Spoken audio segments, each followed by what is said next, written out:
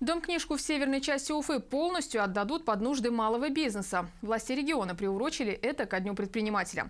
Уже сейчас здесь начал работу Центр «Мой бизнес», где предприниматели могут получить более 150 услуг. С новинкой ознакомился и руководитель региона. Он пообщался с работниками на местах. А вы сами-то разобрались в мерах поддержки?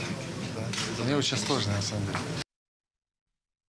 Дом инновационного предпринимательства, теперь так называют это место, формат для Уфы и республики в целом новый. Площадка станет своеобразной точкой кипения для малого бизнеса.